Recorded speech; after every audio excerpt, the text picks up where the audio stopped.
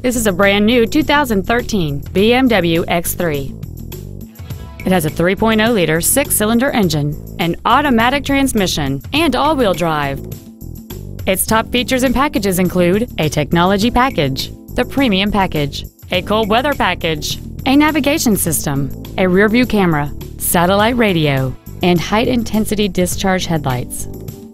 The following features are also included a heated steering wheel, a power moonroof, cruise control, a premium sound system, a passenger side vanity mirror, a security system, front fog lights, traction control, air conditioning with automatic climate control, and the heated seats can warm you up in seconds, keeping you and your passengers comfortable the whole trip.